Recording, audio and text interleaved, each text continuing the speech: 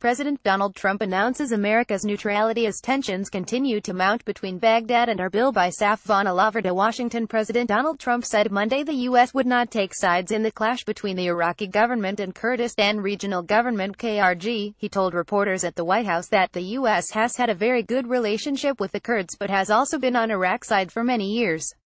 We've had for many years a very good relationship with the Kurds as you know, and we've also been on the side of Iraq, even though we should have never been there in the first place. We should never have been there. But we're not taking sides in that battle, Trump said.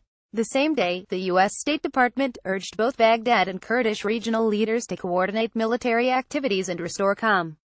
We strongly urge all parties to avoid provocations that can be exploited by Iraq's enemies who are interested in fueling ethnic and sectarian conflict, it said in a statement.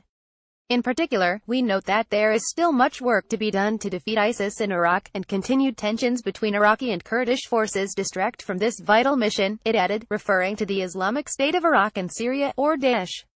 It said the U.S. is working with central and regional government officials to reduce tensions, avoid further clashes and encourage dialogue.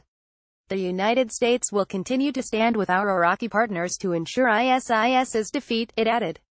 Tension has steadily mounted between Baghdad and the KRG since September 25, when Iraqis in KRG-controlled areas and in several disputed areas, including Kirkuk, voted on whether to declare regional independence.